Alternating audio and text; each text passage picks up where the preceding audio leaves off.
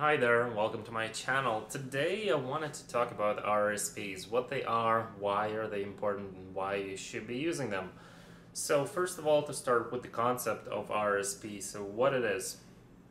RSP, it's a registered retirement savings plan that's created by the Government of Canada to help Canadians save for retirement. So to give you an example to start, let's imagine you're you have an income of 60,000 a year and you decide to contribute 5,000 to your RSP account. So in that case, you will get a tax deduction for those 5,000 that you contributed to your RSP.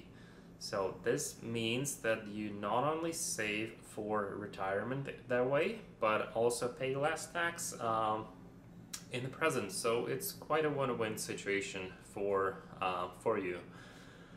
And uh, you might be wondering, what can you do with the money that you do invest in, in the RSP? So one thing to remember is that RSP is an investment account. It's an investment tool. It's not a savings account. So you can do quite a few things inside of your RSP. First of all, you can invest it in um, things like stocks, bonds, or mutual funds, for example. So that way you can diversify your uh, portfolio within that RSP. Um, also, uh, you have to note that RSP, any growth inside your RSP account is tax sheltered. So that means that you don't have to pay any money on the um, income that you generate within your RSP account. So that's quite beneficial to you. Um, and um, another point to mention is uh, withdrawals. How do you withdraw money and when can you do that? So usually you can start withdrawing RSP money when you retire. Um, at that time you'll be most likely in the lower tax brackets, so uh, you will pay less taxes on your withdrawals uh, when you retire. I uh, wanted to give you also some of the tips on how to make the most out of, out of your RSP um, account. So first of all, you need to start early. The sooner you start, the better. Um, compounding interest works magic um, when you give it time. So start early and uh, you'll see your money grow over time. Second, you need to contribute regularly. So make it a habit to contribute to your RSP account um, on a regular basis, whether it's monthly, quarterly, or yearly it doesn't matter as much as the um, regularity of your contributions. So whatever you can afford, make sure to contribute to your RSP. Uh, third, uh, you need to maximize your contributions. So the advantage, um, take advantage of the contribution limit that's set by the government. So um, each year there's a certain maximum amount that the government lets you put in um, inside your RSP account. So um, make sure to use use it um, use it as much as you can, as much as you can afford to. Uh, fourth is to diversify your investments. So within an RSP, consider consider diversifying your uh, portfolio within uh, various um, asset classes such as stocks, bonds, or mutual funds. So that way you decrease your risk and uh, preserve your, your capital, at least increase the chances of preserving your capital as well.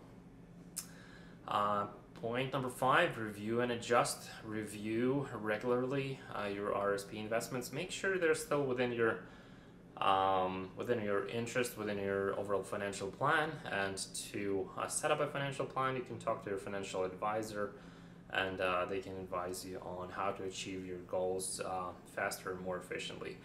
Uh, and tip number six uh, is to seek professional advice. World of finance and investments and an RSP is ever changing. So if you do have any questions about um, any any of them, uh, make sure to talk to your financial advisor and they'll be able to assist. Um, also, it's worth remembering that RSP is a long-term investment uh, account. It's not a savings account as I mentioned prior, so make sure to understand your financial goals clearly and invest accordingly. Um, in terms of potential for RSP growth, just to give you some relative numbers, so let's imagine you contribute 5,000 inside your RSP account every year for 30 years and with an average annual return of say 6%. So uh, in 30 years, you might have approximately over 400,000 um, dollars on your account, assuming there's no withdrawals made um, from it.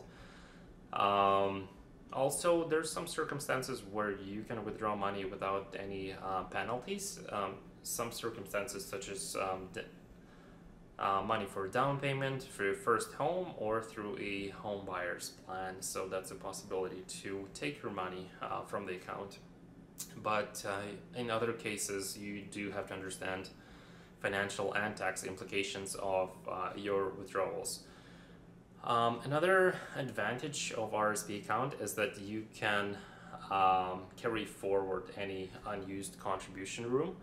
So if you haven't contributed quite as much in the uh, previous years, you can definitely catch up in the years um, that go after. Uh, so that's another benefit of RSP account. Uh, also, um, contribution deadline is usually March 1st um, for of the following year for the um, for your income in the year prior. So make sure to contribute accordingly. Contribute before the deadline uh, if that's uh, your goal to maximize your RSP contributions. Um, also, uh, in terms of asset allocation, as I mentioned um, slightly here, um, it's worth diversifying your stocks between different classes such as stocks, bonds, or uh, mutual funds or various cash equivalents. Uh, one strategy to consider is dollar cost averaging. So instead of trying to time the market or to beat the market, um, you can invest a fixed sum regularly uh, from your RSP account throughout the year. So that way uh, you'll buy more shares. You're likely to buy more shares when the prices are lower and buy less shares when the prices are higher. So that way you um, leverage your risk um, in a way. Um, also, you uh, worth mentioning is that you have to designate your beneficiary to RSP account. So make sure to um, do that um, at some point. So beneficiary will be the person who will receive your funds uh, when um, in the event of your passing.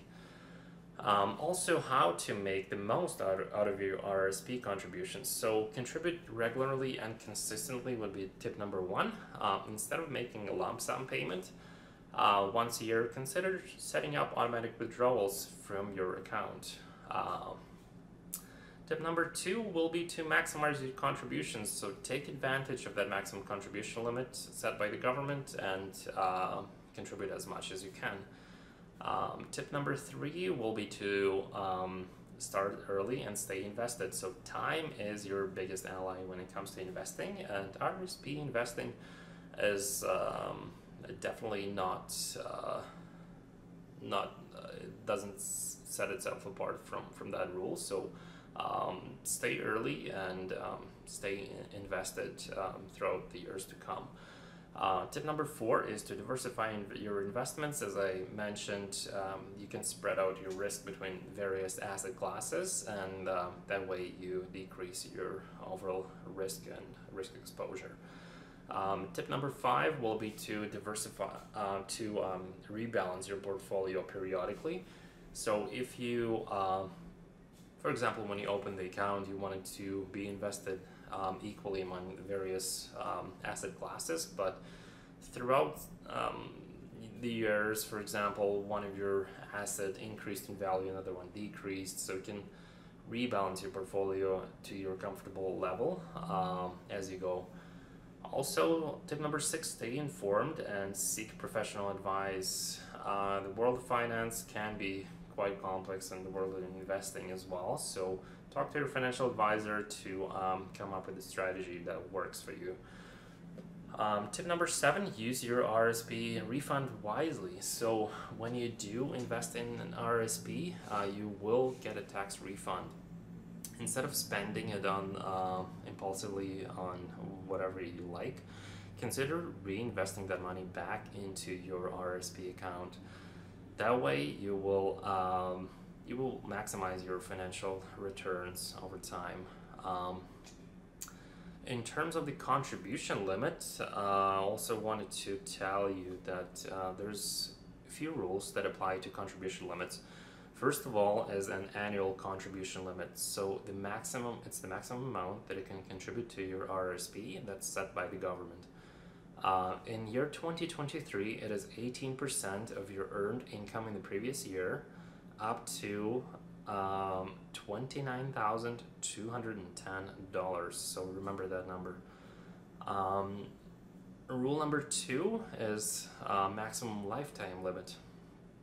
Maximum lifetime limit as of 2023 is $1,191,619. Um, that's a number worth remembering as well. Um, rule number three, carry forward room. So if you haven't maximized your contributions in the previous years, you may use your unused contribution room um, in the future years. So this allows you to catch up on those contributions from uh, previous years. And finally, rule number four is pension adjustments. So if you are a member of registered pension plan, uh, your pension adjustment will affect your RSP contribution room um, and contribution limit. So the pension adjustment is a calculation that determines how much of your RSP contribution room is reduced based on the pension benefits that you have accrued. So uh, those are some of the um, rules that you have to remember in terms of RSP um, contribution limits. Um, so remember um, that uh, contribution limits are subject to change from year to year by Canadian government and uh, make sure to, to follow uh, Canada Revenue Agency uh, guidelines on that and talk to your financial advisor to the most up-to-date information. Um, and remember, investing in RSP offers unique tax advantages and helps you build your retirement uh, uh, savings faster. However, it's um, important to remember to stay within your contribution limits uh, to avoid penalties and other tax consequences and implications. If you found some of those tips uh, on RSP helpful for you, make sure to hit that like button, subscribe to my channel, and I'll see you in the next one.